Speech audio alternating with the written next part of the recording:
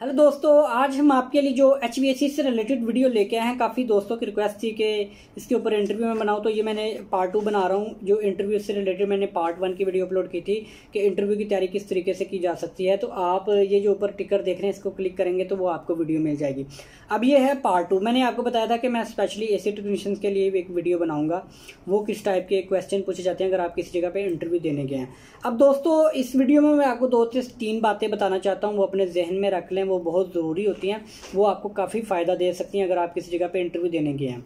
सबसे पहली बात, अगर आप जाते हैं अच्छे तरीके से ग्रीटिंग सेलो हाई करें सेकंड नंबर पे आप उनको समझें, उनके क्वेश्चन को समझें। क्वेश्चन समझने से क्या मुराद है? कि अगर आप किसी जगह पे इंटरव्यू देने गए तो वो आपसे क्वेश्चन करता है, किसी चीज़ की डेफिनेशन पूछता है।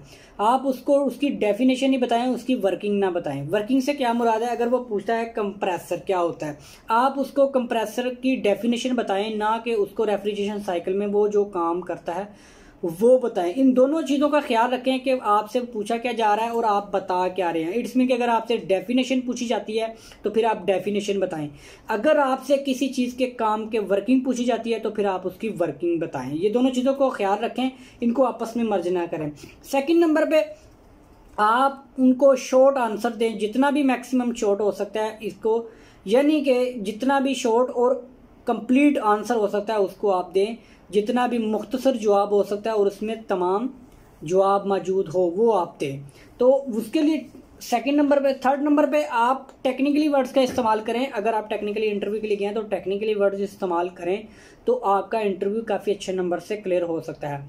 तो दोस्तों, अब मैं बात कर लेता हूँ, ये इंटरव्यू किन लोगों के लिए है? एसी टेक्नीशियन मिसाल के तौर पे अगर किसी ने तीन साल का डिप्लोमा किया हुआ है, दो साल का सर्टिफिकेट है या फिर उसके पास दो साल का सर्टिफिकेट है, साल एक एक दो साल का उसका एक्सपीरियंस है फ़ील्ड में, और वो एक दो साल काम कर चुका है। अब वो चाहता है किसी छोटी कंपनी से छोड़ के वो किसी बड़ी कंपनी में इंटरव्यू देने के लिए जाए तो ये उसके लिए है। बिल्कुल एक सिंपल से क्वेश्चन हैं, इसमें जिन चीज़ों का आपको पता होना चाहिए ज़रूरी। तो अब हम स्टार्ट करते हैं आज की वीडियो दोस्तों वीडियो क्योंकि मैंने ये सारी चीज़ें लिखी हुई हैं काफ़ी तो अगर वीडियो ज़्यादा लंबी हो जाएगी तो इसको मैं दो पार्ट्स में अपलोड करूँगा, उन दोनों पार्ट्स को देखें। तो उम्मीद है कि इसको मैं जितना भी शॉर्ट कर सकूँ, वो कर सकूँ। दोस्तों, सबसे पहले आपको रेफ्रिजरेशन साइकिल के बारे में पता होना चाहिए। अब वो ये कॉमन सा क्वेश्चन है जो हर किसी एचवीएसी के बंदे से लाजमी पूछा जाता है। इसको अपग्रेड कर दिया जाता है अगर किसी बड़ी पोस्ट के लिए तो इसको अपग्रेड कर दिया जाता है। अब ये सिंपल ए सी की पोस्ट के लिए है तो आपको किस टाइप का रेफ्रिजरेशन साइकिल उनको बना के दिखाना चाहिए या उनको बताना चाहिए। जो कंप्रेसर से शुरू हो कंप्रेसर से डिस्चार्ज लें डिस्चार्ज से आप कंडेंसर कंडेंसर से लिक्विड लाइन लिक्विड लाइन से एक्सपेंशन वाल यहाँ कैपिलरी ट्यूब कैपिलरी ट्यूब से बाद वेपोरेटर वेपोरेटर के बाद आपका जो सेक्शन लाइन सेक्शन लाइन के ज़रिए आपका कंप्रेसर अब दोस्तों, इसमें आप लाइंस का ख्याल रखें। आपको लाइंस का पता होना कौन सी सेक्शन लाइन है, कौन सी डिस्चार्ज लाइन है, कौन सी लिक्विड लाइन इन लाइनों का आप ख्याल रखें। उसके बाद, क्योंकि जब आप ये रेफ्रिजरेशन साइकिल बता देंगे तो फिर उस आपको इसी रेफ्रिजरेशन साइकिल से क्वेश्चन निकलते जाएँगे, वो आपसे स्टेप बाय स्टेप पूछा जाएगा। जो मैं बताऊँगा, मे भी इनमें से काफ़ी क्वेश्चन हर क्वेश्चन ना आए, लेकिन ज़्यादातर क्वेश्चन इसी से बनते हैं, इसी से वो आपको पूछ सकता है। मिसाल के तौर पे, अब वो स्टार्ट करेगा आपसे क्वेश्चन पूछना स्टेप बाय स्टेप मैं तमाम बताता जाऊँगा कंप्रेसर से। अब कंप्रेसर से रिलेटेड क्या क्वेश्चन बन सकते हैं? कंप्रेसर से आपसे पूछ सकता है कि वो कंप्रेसर क्या है? कंप्रेसर क्या होता है? आप उसको बताएँ, एक ऐसी डिवाइस है, ये बेसिकली कंप्रेसर की डेफिनेशन बता रहा हूँ। कंप्रेसर एक ऐसी डिवाइस है जो गैसेस को बताएँ कि जो गैस लो प्रेशर गैसेस को हाई प्रेशर गैसेस में कन्वर्ट करता है, उनके वॉल्यूम को कम करके। ये होगी उसकी डेफिनेशन ये बिल्कुल एक शॉर्ट सी और मुकम्मल डेफिनेशन है कंप्रेसर की। अब ये कंप्रेसर आप देखते हैं, दूसरे कंप्रेसर भी हो सकते हैं एयर के भी कंप्रेसर हो सकते हैं। आप गाड़ियों में हवा भरवाने जाते हैं, वो भी कंप्रेसर कहलाते हैं। इनमें तमाम कंप्रेसर की डेफिनेशन आ गई। अब वो पूछेगा कंप्रेसर का रेफ्रिजरेशन साइकिल में क्या काम होता है? अब उसको आप रेफ्रिजरेशन साइकिल के अंदर वर्किंग बताएँ।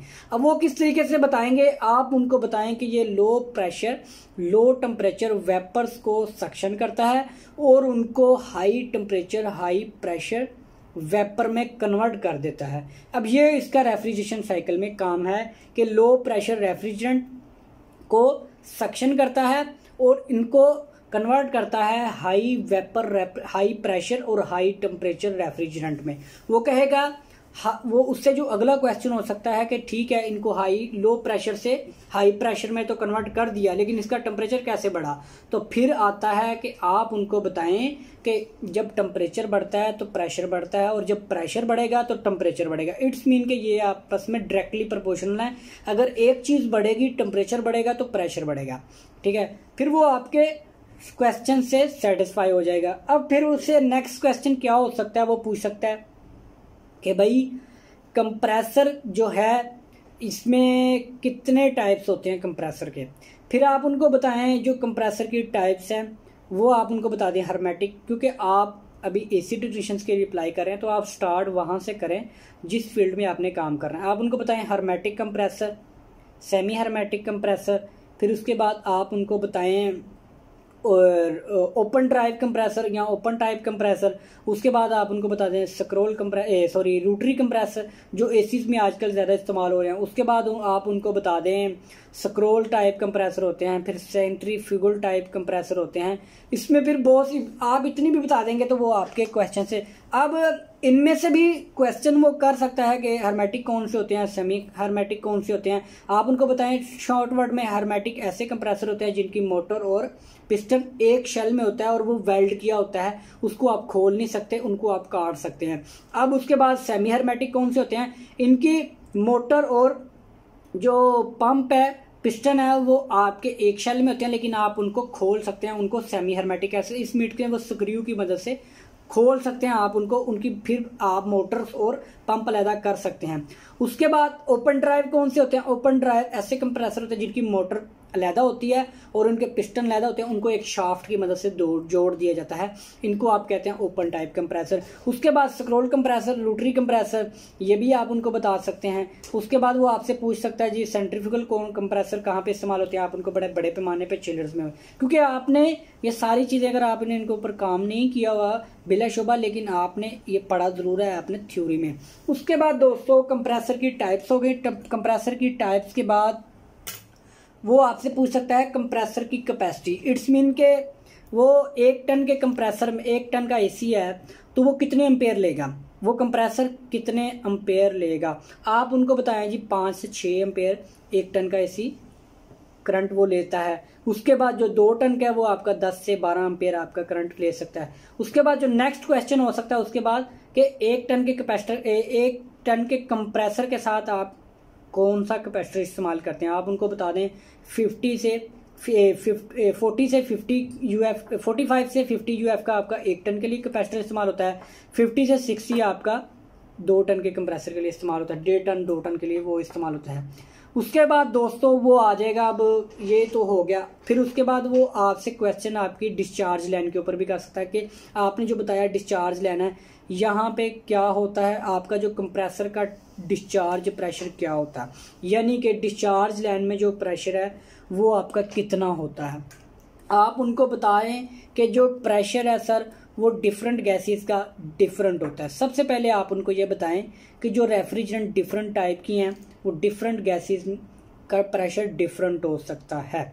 अब वो पूछा है आर बाईस और आर चार सौ दस, क्योंकि ये कॉमन गैसेज हैं, इनका क्या डिस्चार्ज प्रेशर क्या हो सकता है और इनका टम्परेचर क्या हो सकता है?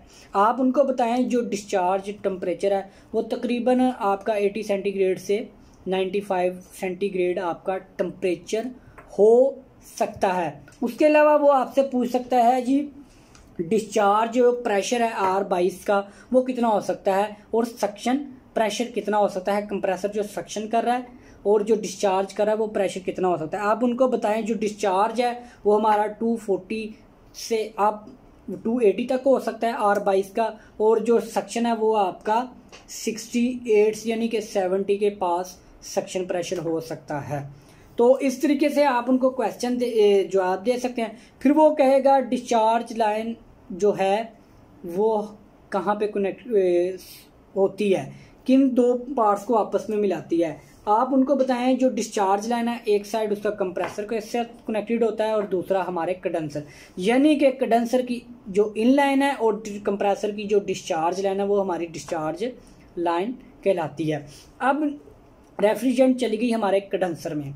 अब वो कंडेंसर से रिलेटेड भी कुछ क्वेश्चन कर सकता है आपसे। अब कंडेंसर से रिलेटेड कौन से क्वेश्चन हो सकते हैं?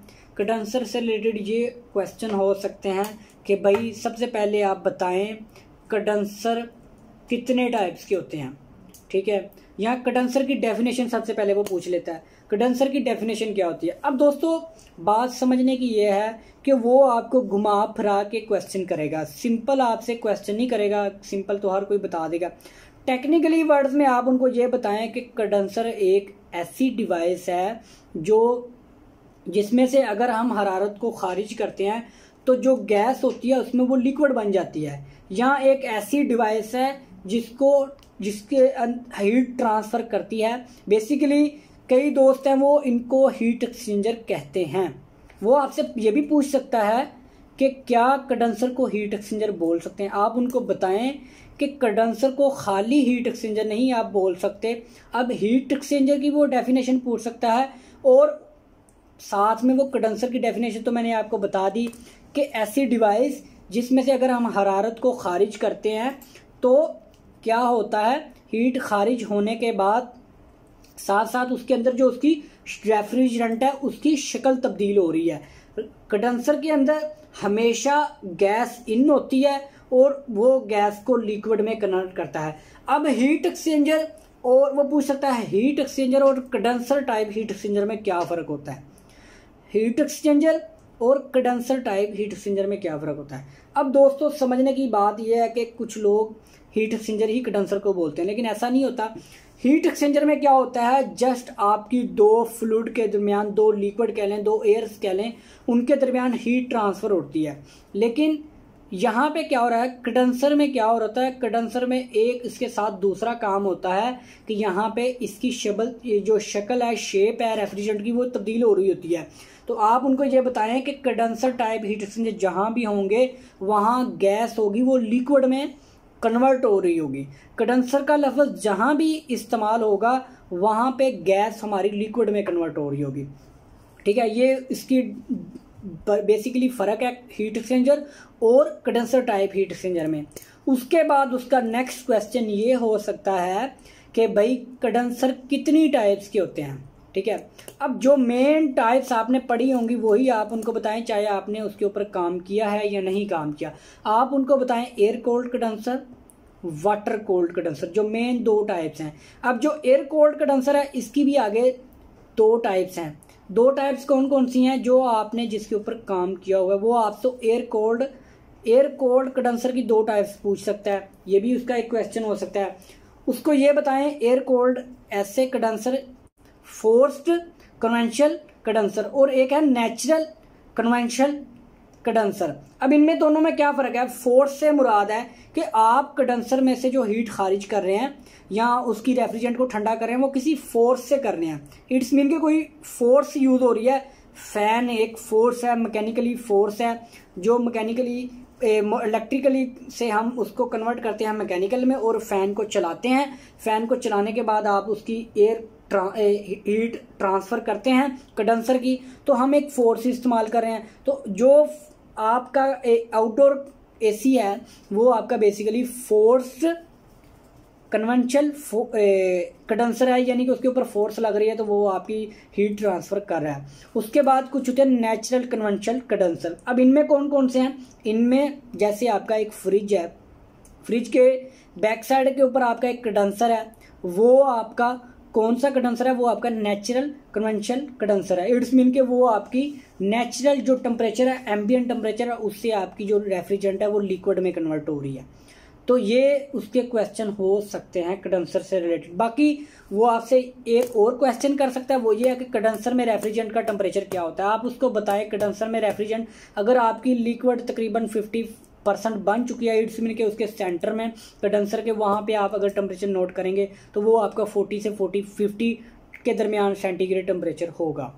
अब इससे नेक्स्ट आगे चलते हैं लिक्विड लाइन के ऊपर।